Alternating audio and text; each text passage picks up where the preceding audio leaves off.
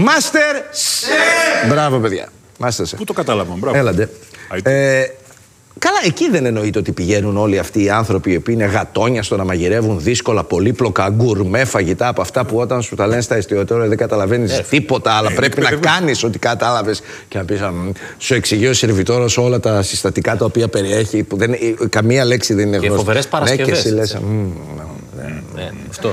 Ε, και που παραγγέλνεις βάση τιμής. Ναι, Παίρνεις ένα ακριβό και λες καλό θα είναι. Δεν μπορεί. Για να, κάνει, για να κάνει τόσο. Αντίστοιχα με το πιστολάκι. Και ή συμφωνείς με ένα ύφος ότι ναι, ναι, μη μου τα λες. Τα ξέρω. Τα ξέρω.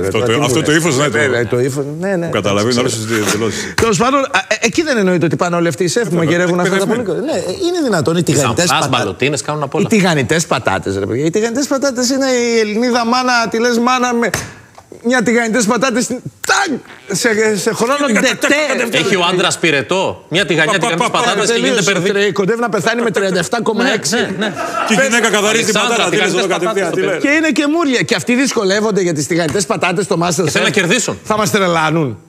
Αν είσαι ευχαριστημένος από τη χθεσινή απόδοση. Βεβαίως, γιατί είχε και μια δύσκολη δοκιμασία και ήταν παρόλο που ακούγεται ότι είναι εύκολο, οι πατάτες στις τηγανιτές πραγματικά είναι πολύ δύσκολο. Τι θες να πεις, Ότι σε δυσκολεύουν μαγειρικά οι τηγανιτές πατάτες; Όχι, οι τηγανιτές πατάτες δεν με δυσκολεύουν τόσο πολύ. Όσο με δυσκολεύει το τόστ ζαμπόν κασέρι. Με δυσκολεύει αφάταστα να βάλω και κασέρι και ζαμπόν μέσα σε δύο φέτες ψωμί. Δυσκολεύομαι επίσης να ψήσω στο φούρνο έτοιμα κατεψυγμένα τυροπιτάκια. Και το πιο δύσκολο πράγμα του κόσμου βέβαια είναι το να ζεστάνω έτοιμο φαγητό σε φούρνο μικροκυμάτων.